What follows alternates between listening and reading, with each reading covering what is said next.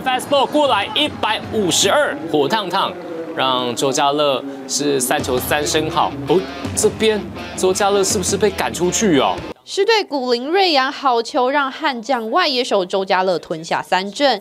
出局的周家乐转身低头骂了一声不雅字眼，结果就被驱逐出场。哦，直接就被赶出去。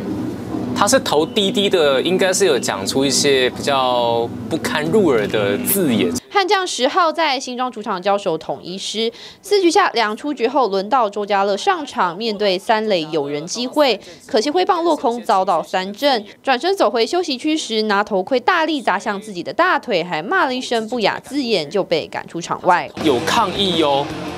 哇，那这样会对于这个战况带来一些变化。峰哥现在蛮不开心的，被赶出场的周家乐当场愣住。总教练陈金峰护子弟兵上场向裁判争论许久，但已经无法改判。赛后，峰总还原选手有讲一些不好听的话，跟裁判解释年轻人表现不好，情绪控制不住，能不能给他一个警告，不要这么快判他出去？但无论如何尊重判决，最终悍将是以一比九吞败。诉求还是继续来一百五十一。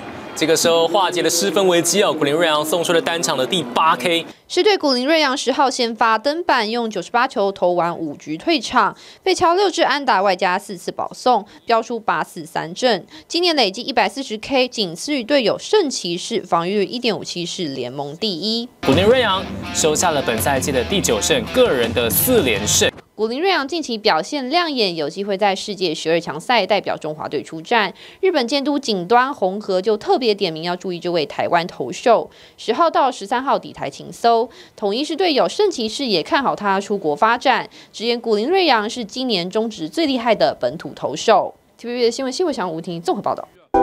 想看最完整的新闻内容，记得下载 TVBS 新闻网 APP。